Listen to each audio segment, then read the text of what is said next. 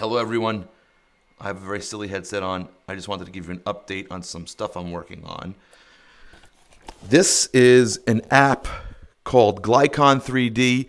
It's made by a guy named Chilton Webb, uh, indie app, but it's mind-blowingly awesome. I can do motion capture, full body tracking. Right now I just have the two hands in the head, but it will do full body tracking.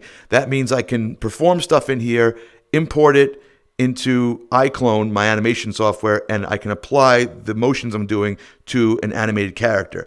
But an even cooler feature that this program can do is you can import sets.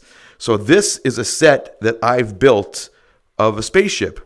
And I made this inside iClone 7 Reallusion. I'm a big Reallusion fan and I can actually walk around my ship and look at the things I've made. I made these chairs in Blender. I made all the walls in Blender. It's a little low res right now because uh, I dumbed everything down a lot just to get it small enough to be able to run smoothly while I'm doing all the motion capture. The final product is going to look a lot more high quality and a lot more polished.